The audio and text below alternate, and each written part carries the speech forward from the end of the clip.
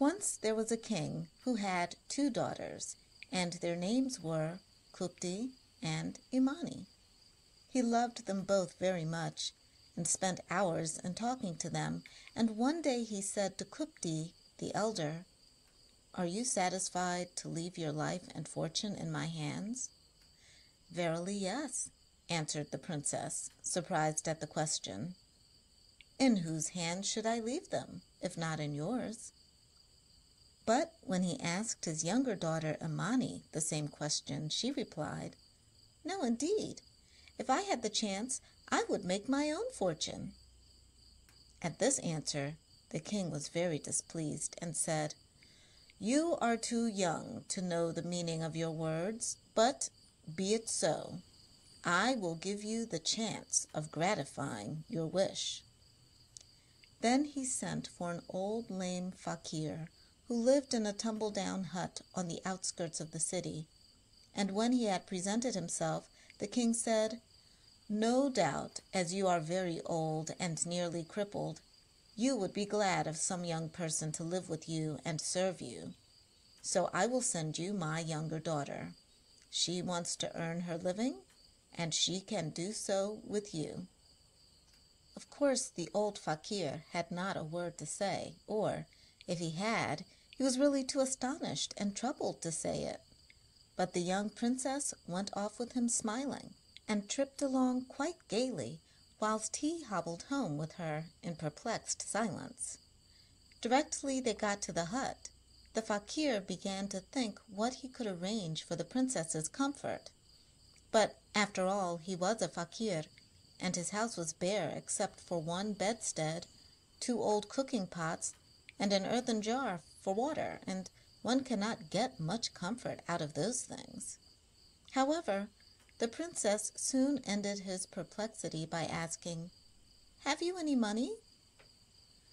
"I have a penny somewhere," replied the fakir. "Very well," rejoined the princess. "Give me the penny and go out and borrow me a spinning wheel and a loom." After much seeking the fakir found the penny and started on his errand, whilst the princess went off shopping. First she bought a farthing's worth of oil, and then she bought three farthings' worth of flax. When she got back with her purchases, she set the old man on the bedstead and rubbed his crippled leg with the oil for an hour. Then she sat down to the spinning wheel and spun and spun all night long whilst the old man slept until, in the morning, she had spun the finest thread that ever was seen.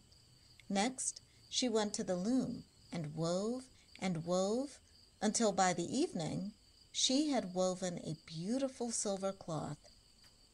"Now," said she to the fakir, "go into the market-place and sell my cloth whilst I rest." "And what am I to ask for it?" Said the old man.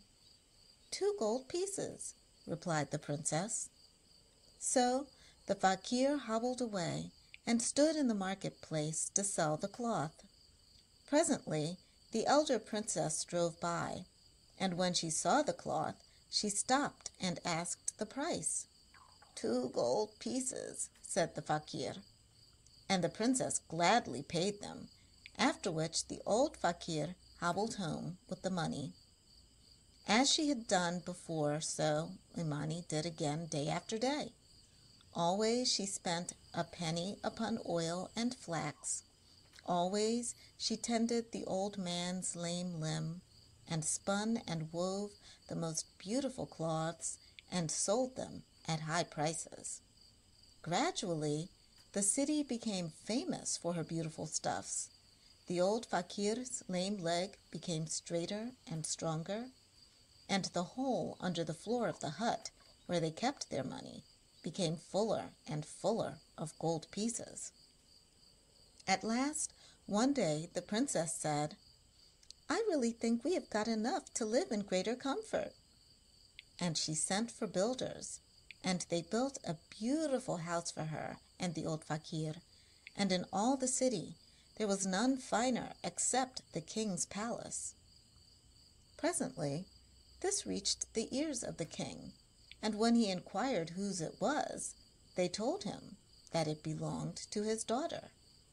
Well, exclaimed the king, she said that she would make her own fortune, and somehow or other she seems to have done it. A little while after this, business took the king to another country, and before he went, he asked his elder daughter what she would like him to bring her back as a gift. A necklace of rubies, answered she. And then the king thought he would like to ask Imani too.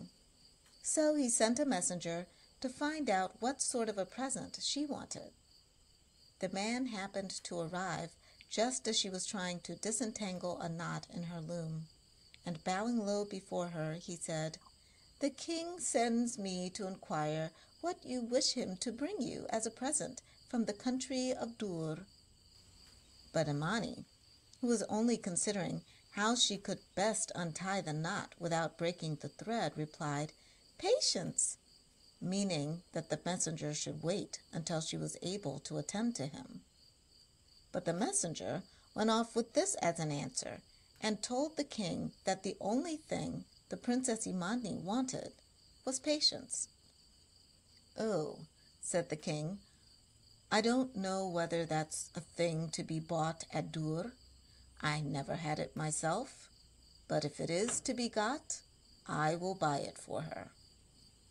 Next day, the king departed on his journey, and when his business at Dur was completed, he bought for Kupti a beautiful ruby necklace. Then he said to a servant, The Princess Imani wants some patience. I did not know there was such a thing, but you must go to the market and inquire if any is to be sold. Get it and bring it to me. The servant saluted and left the king's presence. He walked about the market for some time, crying, Has anyone patience to sell? Patience to sell? And some of the people mocked, and some, who had no patience, told him to go away and not be a fool. And some said, The fellow's mad, as though one could buy or sell patience. At length it came to the ears of the king of Dur that there was a madman in the market trying to buy patience, and the king laughed and said, I should like to see that fellow. Bring him here. And immediately his attendants went to seek the man and brought him to the king, who asked, What is this you want? And the man replied, Sire, I am bidden to ask for patience. Oh, said the king, you must have a strange master.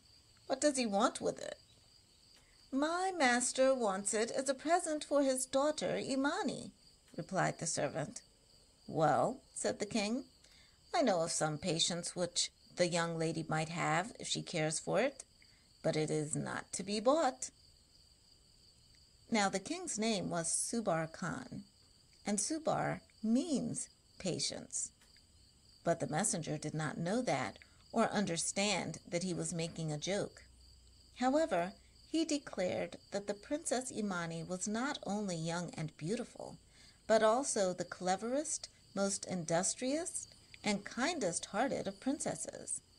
And he would have gone on explaining her virtues had not the king laughingly put up his hand and stopped him, saying, Well, well, wait a minute, and I'll see what can be done.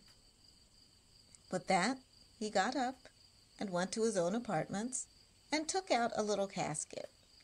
Into the casket he put a fan, and shutting it up carefully, he brought it to the messenger and said, here is a casket. It has no lock nor key, and yet will open only to the touch of the person who needs its contents, and whoever opens it will obtain patience. But I can't tell whether it will be quite the kind of patience that is wanted. And the servant bowed low and took the casket. But when he asked what was to be paid, the king would take nothing. So he went away and gave the casket and an account of his adventures to his master. As soon as their father got back to his country, Kupti and Imani each got the presents he had brought for them. Imani was very surprised when the casket was brought to her by the hand of a messenger. But, she said, what is this? I never asked for anything. Indeed, I had no time, for the messenger ran away before I had unraveled my tangle.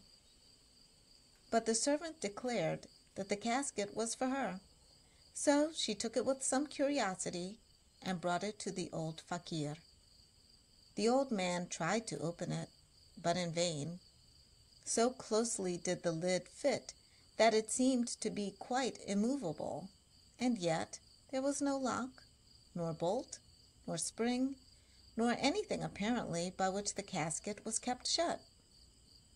When he was tired of trying, he handed the casket to the princess, who hardly touched it before it opened quite easily and there lay within a beautiful fan. With a cry of surprise and pleasure, Imani took out the fan and began to fan herself.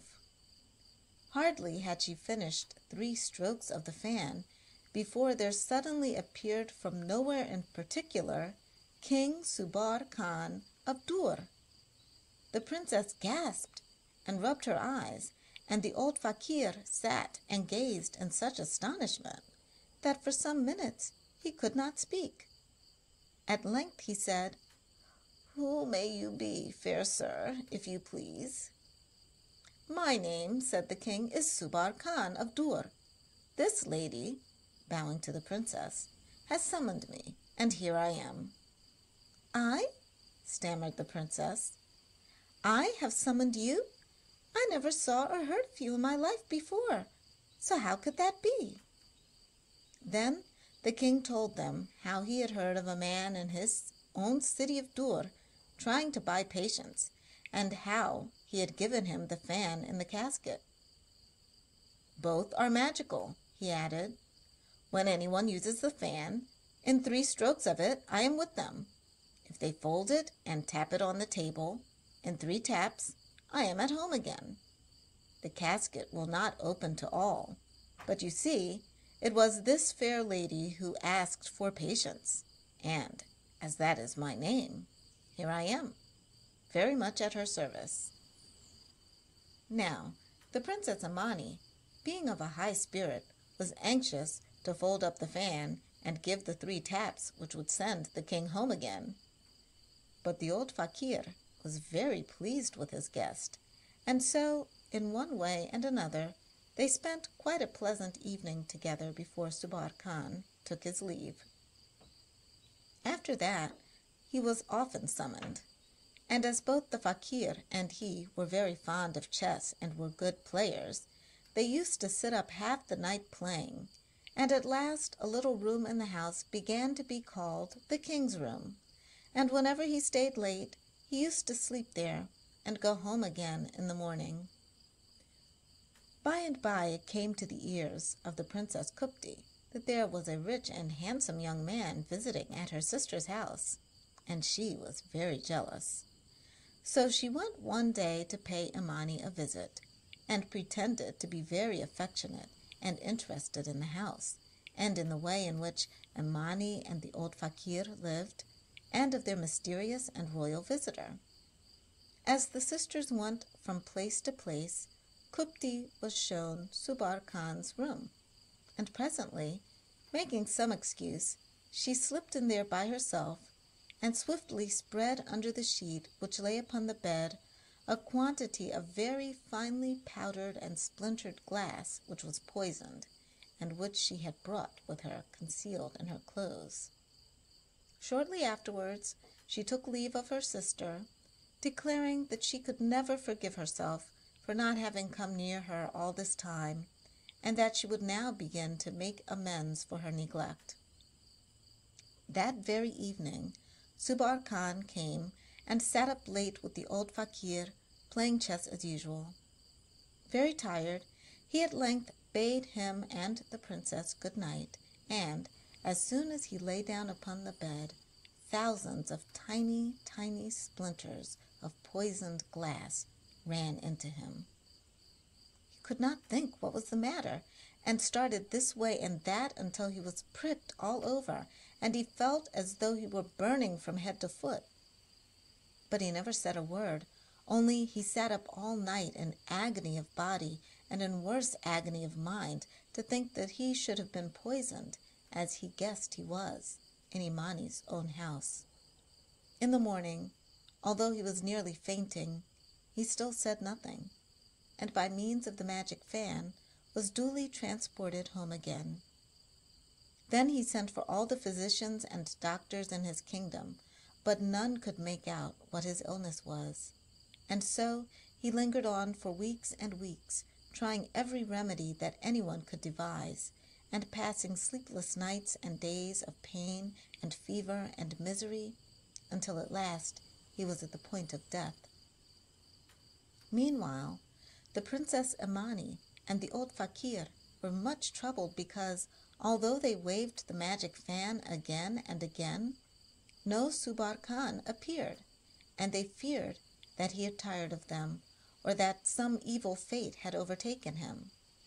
At last, the princess was in such a miserable state of doubt and uncertainty that she determined to go herself to the kingdom of Dur and see what was the matter. Disguising herself in man's clothes as a young fakir, she set out upon her journey alone and on foot, as a fakir should travel. One evening she found herself in a forest and lay down under a great tree to pass the night. But she could not sleep for thinking of Subbar Khan and wondering what had happened to him. Presently she heard two great monkeys talking to one another in the tree above her head. Good evening, brother, said one. Whence come you, and what is the news?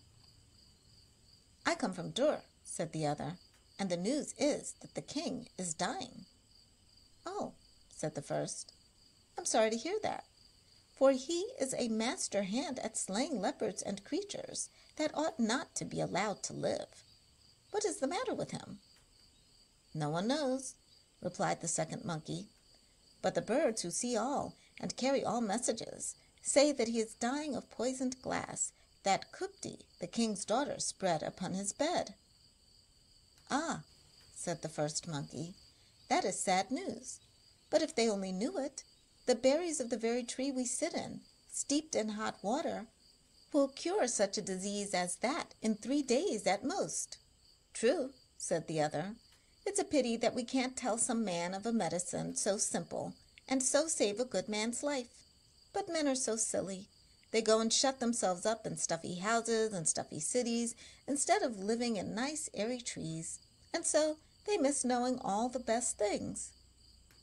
Now, when Imani heard that Subbar Khan was dying, she began to weep silently. But as she listened, she dried her tears and sat up and as soon as daylight dawned over the forest, she began to gather the berries from the tree until she had filled her cloth with a load of them. Then she walked on as fast as she could, and in two days reached the city of Dur. The first thing she did was to pass through the market crying, Medicine for sale! Are any ill that need my medicine? And presently one man said to his neighbor, See, there is a young fakir with medicine for sale. Perhaps he could do something for the king. Pooh, replied the other, where so many graybeards have failed, how should a lad like that be of any use? Still, said the first, he might try. And he went up and spoke to Imani, and together they set out for the palace and announced that another doctor was come to try and cure the king. After some delay, Imani was admitted to the sick room, and whilst she was so well disguised that the king did not recognize her, he was so wasted by illness that she hardly knew him. But she began at once, full of hope, by asking for some apartments all to herself and a pot in which to boil water. As soon as the water was heated, she steeped some of her berries in it and gave the mixture to the king's attendants and told them to wash his body with it. The first washing did so much good that the king slept quietly all the night. Again, the second day she did the same, and this time the king declared he was hungry and called for food. After the third day he was quite well, only very weak from his long illness. On the fourth day he got up and sat upon his throne, and then sent messengers to fetch the physician who had cured him. When Imani appeared, everyone marveled that so young a man should be so clever a doctor, and the king wanted to give him immense presents of money and all kinds of precious things. At first, Imani would take nothing, but at last she said that if she must be rewarded, she would ask for the king's signet ring and his handkerchief. So, as she would take nothing more, the king gave her his signet ring and his handkerchief, and she departed and travelled back to her own country as fast as she could. A little while after her return, when she had related to the fakir all her adventures, they sent for Subbar Khan by means of the magic fan. And when he appeared, they asked him why he had stayed away for so long. Then he told them all about his illness and how he had been cured. And when he had finished, the princess rose up and, opening a cabinet, brought out the ring and handkerchief and said, laughing, Are these the rewards you gave to your doctor? At that the king looked, and he recognized her and understood in a moment all that had happened. And he jumped up and put the magic fan in his pocket and declared that no one should send him away to his own country any more unless Imani would come with him and be his wife.